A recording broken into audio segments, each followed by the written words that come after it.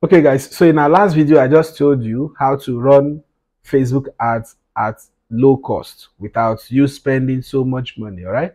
How to run Facebook ads without spending so much money on ads. And I told you that if you implement everything that I said in that video, your ad cost will actually drop.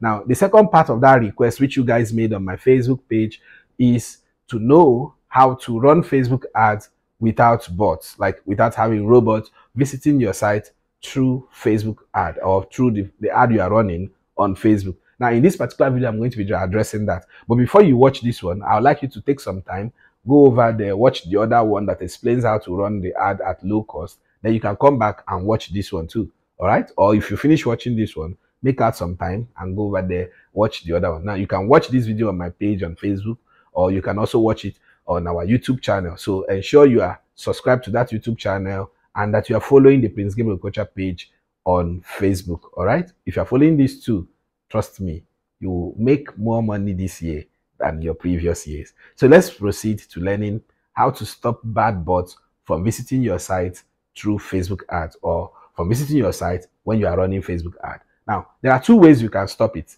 There are two ways that I stop bad bots from visiting my ads when I'm running Facebook ad. The first method is called the bridging method.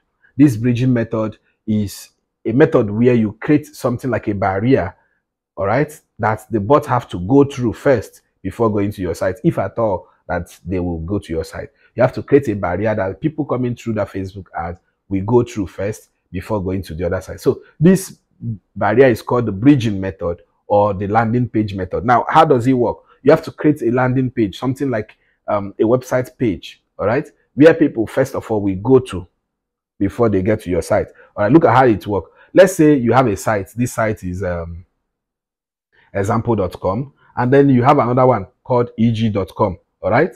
Now, um, this example.com. Okay, okay. Let's let's put it this way so that you understand it clear, clearly. Okay. Let's say you have a site called example.com, and you have another one called um, um, uh, what do you call it? Let's call this one eg.com. Okay. So you can on example.com now you can create a landing page on example.com that Facebook traffic will first of all get to. Now, this page you created on example.com is the one you will use in pushing traffic on Facebook. All right. But on this example.com, you also put a link like click here or apply now, apply here, all those things. You also put a link on this example.com. Now, when people come through Facebook, they will click on this link. And once they click on the link, it will now direct them to this site, which is eg.com. So it's like this. The traffic is coming through Facebook this way. It will first get to example.com here and then pass through example.com to get to eg.com. Do you understand it? Do you get the, the arrangement? The traffic will come through Facebook here and then it will go through this and get. Now, why does it work? Why does this method work? The reason it works is this. Most bots do not click on links when they eventually get to your site. This is why when you run your ads with link clicks directly from Facebook, you will have high volumes of traffic, low page views, high amount of bounce rate, and also um, low clicks on your AdSense ad. In fact, you may even run an ad of 10,000, 20,000, and you end up getting just 5, 10 or 5, 10 or 15 clicks on your AdSense ad. That's low. I mean, that's very, very low because the bots coming through Facebook may not really have that time to click on the AdSense ad on your site. So what they do is they come through Facebook to your site and then pam, they go back again because they don't click on ads. You get my point. So, but when you use the bridging method, these bots, when they get here, they'll bounce back. Do you understand it? Instead of getting to your site and then, I mean, getting to your site and bouncing back, they'll get to that landing page first.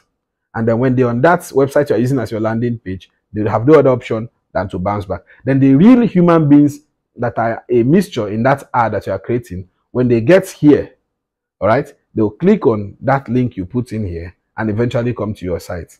Now, the first three days of you running your Facebook link clicks may be filled with 70% bot, bot or 60% bot. The first three days, the traffic quality will actually increase from th- uh, the three, that is the third day that you are running your ad up. the traffic quality will increase. Now, from that day three, the the bot uh, mixture will reduce to maybe 50 or 40 or 30, 30% to humans. All right, so humans will occupy the other part while the other part will still be bought. So you won't be losing so much more, but it has to be like the third day first because within that third day, the algorithm would have known all uh, you know categories of people to push your ad to. All right, so apart from that, um, within that third day, your CPC would have started increasing on AdSense. So when they are coming there, when people are coming to your site now, you know, the bots will be bounced back here and the people will pass through here, find the content they are looking for and click on your ads. And then your CPC would have improved. You get, but the first three days, you have majority of bots. That's why when you run this ad, you notice that on Facebook, you may see 20,000 clicks.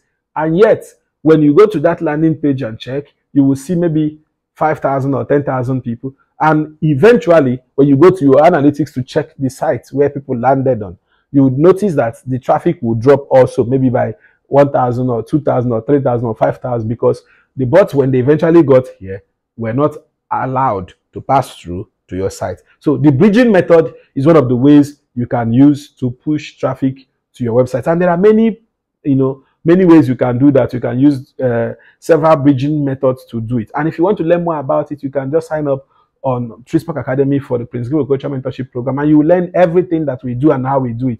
Or you can go for the Facebook uh, Messenger ads on uh, Facebook ad setup on Trispark Academy, and you will learn how we set up these things properly. Now, apart from this, another method you can use to block bad bots from getting to your site is to use Cloudflare to do that. If you go to the Trispark Academy um, YouTube channel, you'll find a free video that I personally recorded, a free video, a free tutorial on how to use Cloudflare to block bad bots and traffic coming from other countries you don't want to your website. So in that tutorial, I gave a clear-cut direction on, you know, step-by-step -step guide on how to do one or two things, use some settings on Cloudflare to block bad bots and bad traffic sources from coming to your website. If you do it that way, if you do everything I explained in that video, you will not have the issue of bad bots infiltrating your site. Now, it may not stop bots 100% from coming to your site because there are bots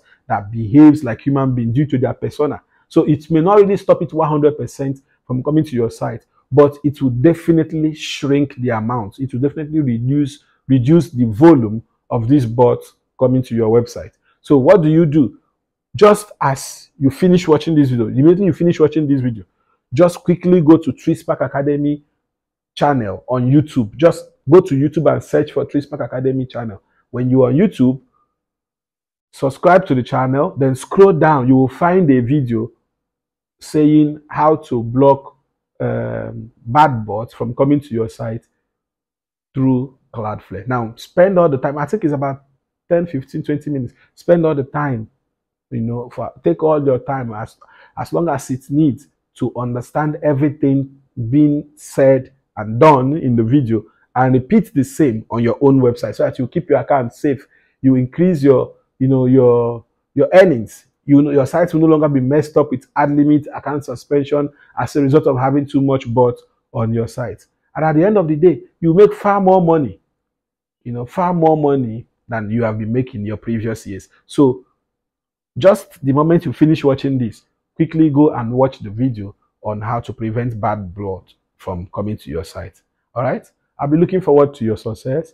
I'll be looking forward to hearing you say you have successfully dealt with your bot problem and your high ad cost problem on Facebook. All right? I hope you found video value watching this video. Now, if you did, what you do is to let another person see it too by clicking on the share button and encouraging them to follow the Prince Gabriel Coaches page on Facebook. I'll see you again. Bye.